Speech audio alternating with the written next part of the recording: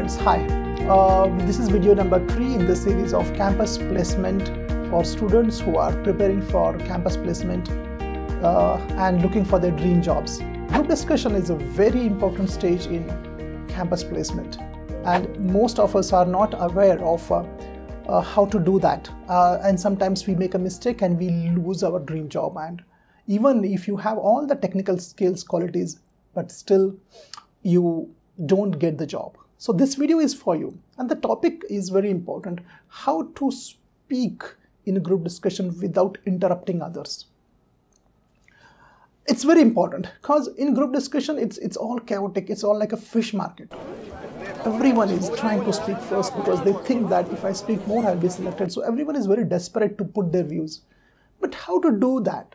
How to speak without interrupting or uh, without getting, uh, without offending others? How to do that? I'm going to tell you in this GD. Very important tips are there. If you follow those tips, you will comfortably win the GD. Let's start.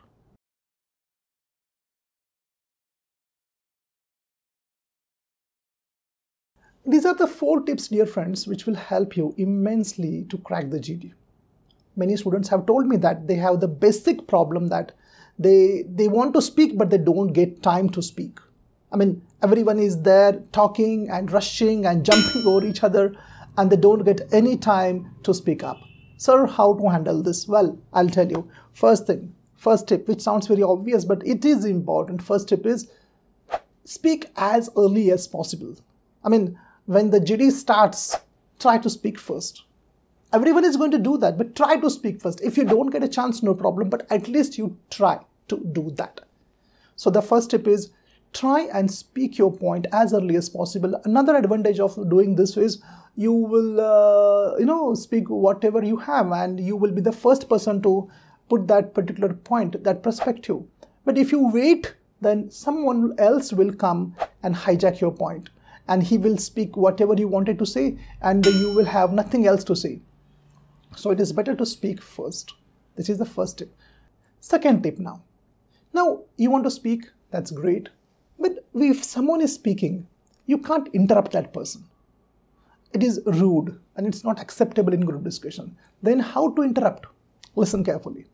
See, when when we are speaking, we are speaking in a particular tone tone, and nonverbals. Means when someone is speaking, that person is speaking in a particular pitch of voice and about and body language also. The when that person is about to stop, you can figure it out. When you when you when you are a good observer, when you observe that this person is about to stop, he is about to finish his point. That at that particular instant, you have to jump in. Means what? The moment he stops, you have to start. That gap must not be there. This gap, when he stops, there should not be gap. You jump in. This needs practice, I know that. But understand one thing that while doing that, you should be careful that that person is actually going to stop. Mm. And you can do that, you can learn that only by observing his verbal and non-verbal communications. Verbal means the the the words, the sentences, the ideas. And this is what I feel, dear friends. When he says that, you, you, you realize, oh, okay, he feels this. He's going to stop now. Because when we end any sentence, we end with a particular note. And also his non-verbal, that's body language, also tells that he's going to stop. Once, once you observe that, you can jump in. Just get into that. When he ends, when you start. This is the second tip. Third tip is high pitch of voice and confidence in your voice. Very important it is. Because once you jump in, others will also try to jump in. When one person finishes, others will also try to jump in. In that particular situation, your pitch of voice must be clear and confident. Your body language. Hi there. What happens is this has an impact on others. Others will sit quiet then. They will take a back, back foot.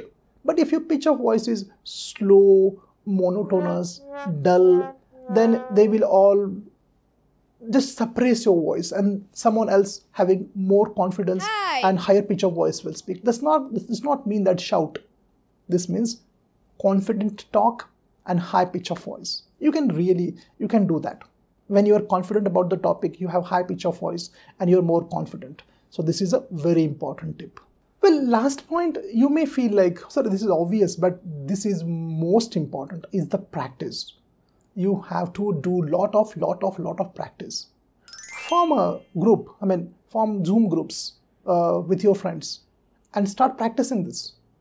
Start practicing uh, with try, trying to speak without interrupting the other person if you can do more and more practice, you will get more and more confident. More and more confident while speaking with someone, and you will not interrupt, or I'll say you will not cut that person. But you will speak when he ends. That happens only by practice. So I request you all to just form a group of your friends who are preparing for campus placement and have a lot of lot of lot of mock GDs and then see the magic. You get more confident and next time when you actually perform in a GD, you will not have any fear or any nervousness. Yeah, some amount will be there. I will not say not at all, but will be there, but you will be more confident and you will be able to handle such people in a better way who interrupt you or cut you. Well, these are the four tips. Let me summarize these four tips again so that you, you, you should not forget this. First tip, start as early as possible. Don't delay. Don't say that I will speak after number two, number four, number five. Don't do it. Speak first. Number two, observe the verbal and non-verbal of the person who is speaking. When you are good observer, you can figure out when he's going to stop. Number three, high pitch of voice and confidence. This comes by practice. You have to see, you have to shoot yourself. Shoot your video and see how is your pitch of voice. Number four, very important, practice, practice, practice. Do lot of, lot of, lot of practice. So guys, these were the four tips which will help you to speak without actually offending or interrupting the other speaker. And this will make a big difference. You will win the GD. Thanks for watching this video. If you feel like this video is helpful, forward this video in your friends group so that most of the students should get benefited out of this. Thanks a lot. Goodbye.